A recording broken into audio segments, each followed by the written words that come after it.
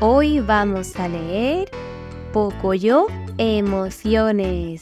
¡Wow! Con divertidos relieves. Vamos a ver. Pocoyo se siente alegre porque es su cumpleaños. ¡Bien! Y tiene unos globos súper bonitos y una tarta riquísima. Pato se siente triste. Su planta está mustia. Ayuda a Pocoyo a regarla. ¿Le ayudamos? Venga, así Pato se sentirá mejor.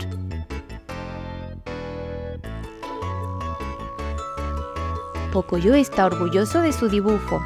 Se ha esforzado mucho y le ha quedado precioso. ¿Verdad? ¿Tú qué crees? Está súper bonito, ¿verdad? ¡Qué susto! Pocoyo siente miedo cuando le asustan. ¡Ay, pobrecito! Se ha asustado un montón. ¿Quién será este que está disfrazado? ¿Qué pensáis? ¿Será Eli? ¿No? Parece pato, ¿verdad? Cuando tiene que hablar en clase, Pocoyo siente vergüenza. Claro, porque todos le miran, ¿verdad? Pero no pasa nada.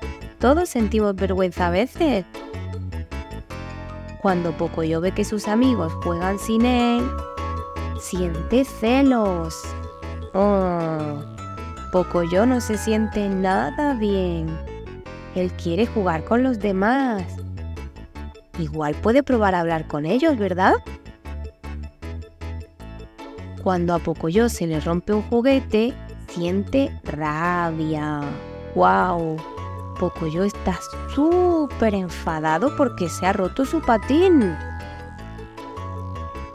Pocoyo y Eli se quieren mucho.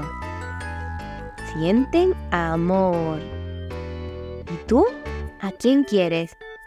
Demuéstraselo con un abrazo. Pocoyo y sus amigos sienten un montón de emociones. ¿Cómo te sientes tú? ¿Rabioso? ¿Triste?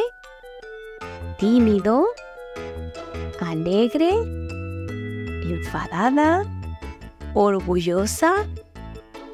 ¿Cómo estás tú? Y patatines y patatinas, este cuento se ha terminado.